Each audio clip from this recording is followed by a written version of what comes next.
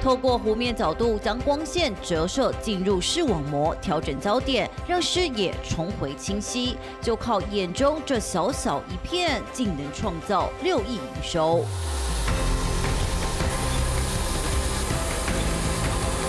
机器手臂精准抓取一颗颗高分子聚合物，而这正是制作隐形眼镜的原材料。接着经过不断切削，再一次次打磨，要磨出光滑细致的光学镜片。那眼球的形状有几百万、几千万种，所以我在制造它的时候。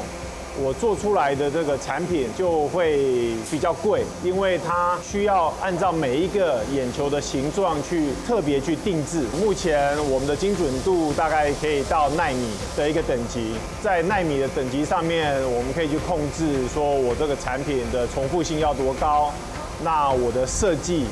如何去更吻合人的眼睛？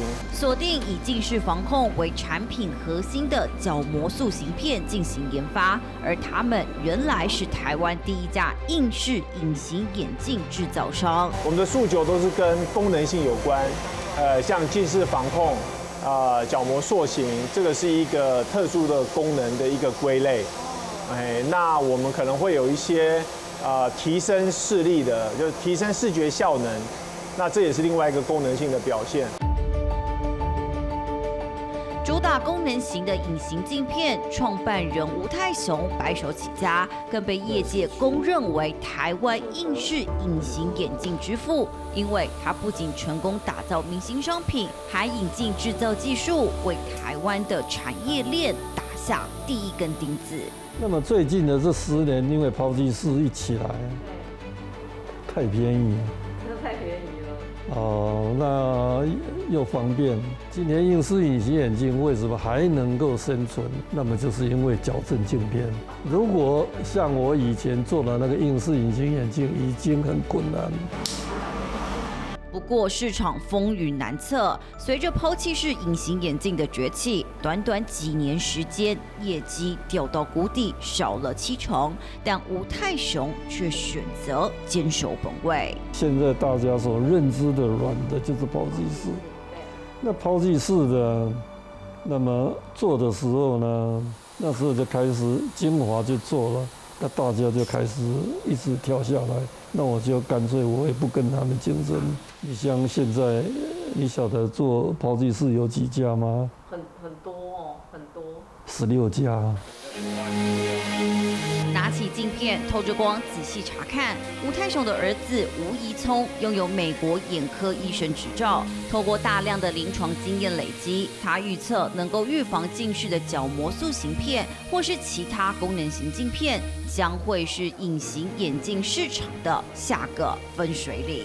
我主要最早是在美国执业，因为我是美国的眼科医生的这个执照，执业了一段时间，就很快发现说，在临床上面，在隐形眼镜验配会碰到很多的瓶颈，那才会想说，那要克服这个瓶颈，应该要从镜片的设计，呃，来解决。于是父子俩一拍即合，不亦乐乎的抢进抛弃式隐形眼镜市场，反而沉下心。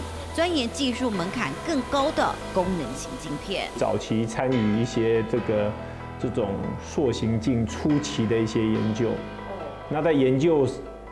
中就会把这些镜片交给受试者或小朋友使用。那在使用的过程没有多久，就会发现有一群小朋友都不会回来复诊，因为打电话给他就说我都看得很清楚啊，视力很好啊，都戴很好，干嘛要再回来？你就很好奇，觉得这个年龄层的小朋友戴框架眼镜的，他通常你不用叫他就会回来，因为看不清楚啦，视力模糊啦，就定期回来。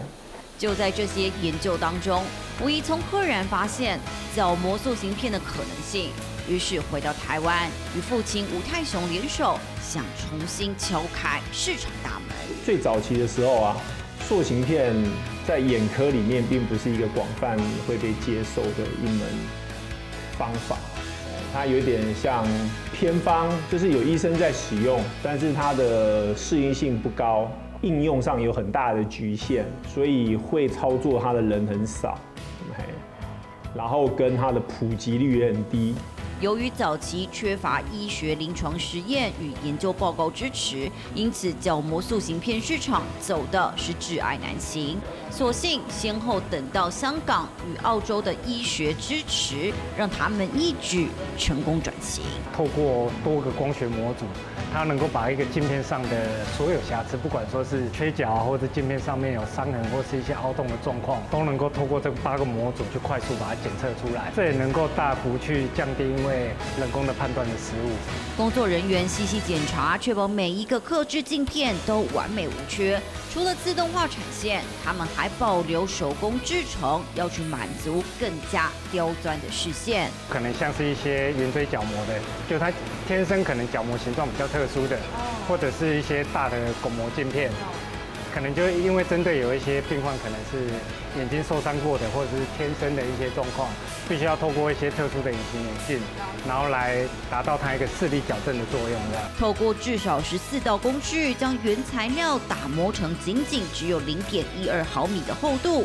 吴怡聪目光如炬，要在这毫米之间，靠着专精技术，重新聚焦人们的视线，成功决胜千里之外。